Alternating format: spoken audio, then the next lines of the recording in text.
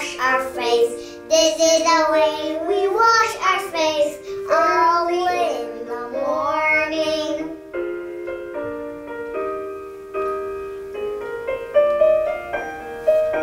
This is the way we comb our hair, comb our hair, comb our hair. This is the way